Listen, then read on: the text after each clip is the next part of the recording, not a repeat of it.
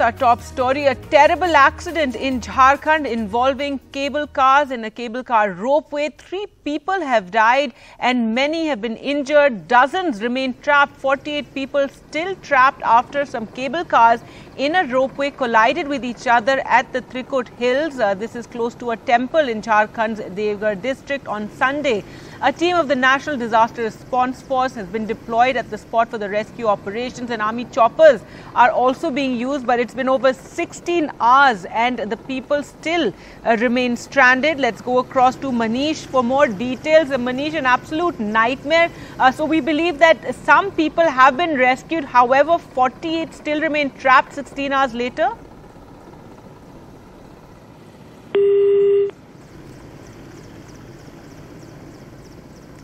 All right, we will try and go across to Manish uh, in, in a bit, but uh, let's just listen into what one of the eyewitnesses had to say. Trikut पहाड़ का जो रोपे का यहाँ एक trolley जो है थोड़ा सा डिस्प्लेस होने की वजह से अभी रोपे बंद है और जिसकी वजह से दो लोग इंजोर हुए थे जो हम लोगों ने रेस्क्यू करके ऑलरेडी हॉस्पिटल भेज दिया और भी कुछ लोग अ, रोपे में है तो हमारी एनडीआरएफ टीम है और हम लोग एनडीआरएफ के जो सीनियर्स हैं उनसे भी कंसल्ट कर रहे हैं और इन सभी लोगों को हम लोग जो है इवैक्यूएशन करेंगे और किसी को भी किसी तरह का अ, ये जो र्यूमर र्यूमर में अ, ये बिलीव नहीं करना हम सभी लोग हैं इसको इवैक्यूएशन करवाएँगे And uh, this is what uh, the DC of Devgarh, Manjunath Bhajantri, had to say about this terrible accident and the ongoing rescue operations. ये जो दुर्घटना हुई है इसके बाद में रेस्क्यू के लिए क्या किया जा रहा है यस सर तो यस सर कल जैसे ही ये इंसिडेंट हुआ था। उसके बाद इमीडिएटली डिस्ट्रिक्ट एडमिनिस्ट्रेशन और एनडीआरएफ ने रेस्क्यू करते हुए 11 लोगों को रेस्क्यू किया था। उसके बाद अभी भी 12 ट्रॉली जो सबसे हाइट में है और उसमें 48 लोग अभी भी उसी में फंसे हुए हैं। और यहाँ आईटीबीपी एनडीआरएफ और इंडियन आर्मी सभी लोग पहुँचे पहुँचे हुए हैं। और इंडियन एयरफोर्स के दो चॉपर आए हुए हैं कि एरियली उनको कैसे इवैक्यूएट किया जाए। और ऑलरेडी वो लोग वर्क कर रहे हैं। की एंकरिंग कितनी प्रॉपर आपके हिसाब से एक्सीडेंट का कारण क्या है? तो ये तो पूरा रूट कॉज एनालिसिस ये इवैक्यूएशन होने के बाद ही यहाँ के टेक्निकल और सारे बिंदुओं को जाँच किया जाएगा। और जहाँ पे भी आपको है। सो स्ट्रिक्टेस्ट एक्शन जो स्टेट गवर्नमेंट के अनुसार हम लोग तो भय पक्षपात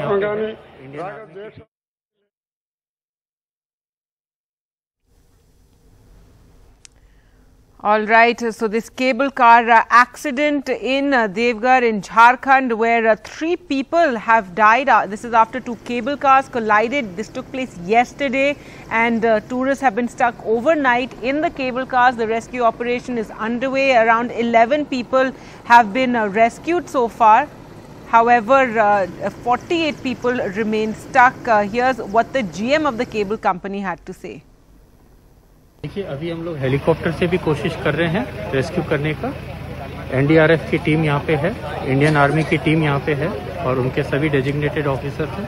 बेस्ट टीम जहाँ तक हमको जानकारी मिली है, इंडिया की बेस्ट टीम है, वो रेस्क्यू की कोशिश कर रही है। और मीन हम लोग अभी वर्टिकल रेस्क्यू का भी प्लानिंग कर रहे हैं। उसमें भी हमारी टीम है ट्रेन टीम उसके साथ में एनडीआरएफ और इंडियन आर्मी की जो टीम है। इससे कितने लोगों का आप रेस्क्यू कर इससे इमीडिएटली हमारी प्लानिंग जो है विद इन वन आवर हम चार केबिन को अभी रेस्क्यू कर लेंगे। This is what we have plan right लेकिन ये जो एक्सीडेंट हुआ इसमें क्या लैप्सेस हैं? आप मानते हैं अभी देखिए ये कहना आज की इस, इस परिस्थिति में ये बताना बहुत मुश्किल होगा कि लेप्सेज रहे हैं या नहीं रहे हैं।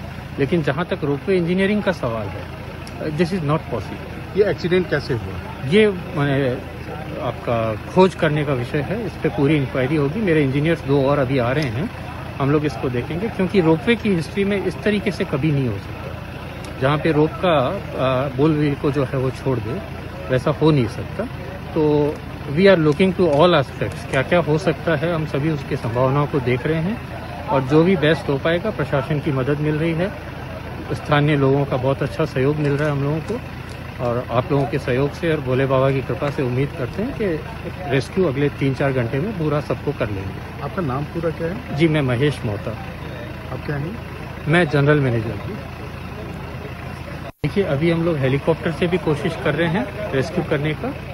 एनडीआरएफ की टीम यहाँ पे है इंडियन आर्मी की टीम यहाँ पे है और उनके सभी डेजिग्नेटेड ऑफिसर हैं। बेस्ट टीम जहाँ तक हमको जानकारी मिली है इंडिया की बेस्ट टीम है वो rescue.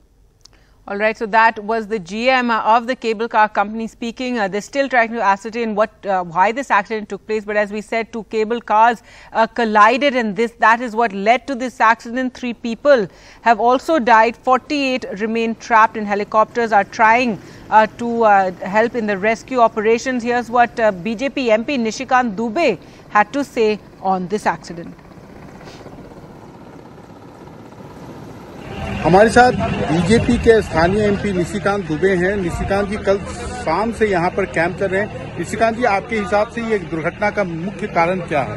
देखिए, मुख्य कारण है कि इसका मेंटेनेंस जो है, लापरवाही जो सबसे बड़ी है। आपको आश्चर्य होगा कि एक एक केबिन में जो है, सात लोग नियम यह है कि चार आदमी से ज़्यादा नहीं होना चाहिए। और जो मेंटेनेंस है, चार बजे के बाद इसको नहीं चलना है। मुझे जो जानकारी मिली, अभी बीस दिन पहले भी एक हादसा इसी केबल पर हुआ था कि दो घंटे के लिए जो मेंटेनेंस चाहिए तो चार बजे के बाद नहीं चलना है तो चार पाँच बजे छह बजे तक भी चलता अभी है। सारे लोग आए हुए हैं आईटीबीपी है इंडियन आर्मी है इंडियन एयरफोर्स है तो भी रेस्क्यू ऑपरेशन क्यों नहीं हो पा रहा? उसका कारण ये है कि एक तो हाइट ठीक ठाक है बहुत अच्छी हाइट है इसमें। दूसरा क्या है कि दो पहाड़ों के बीच में है तो विंड जो है वो बहुत तेज़ी से चलता है। उस कारण से तीन अटेम्प्ट ले चुका है इंडियन एयरफोर्स और जब वो नीचे से आते हैं सीढ़ी से आते हैं तो इतनी हवा है तो हवा में वो केबल पर नहीं पहुँच पा रहे।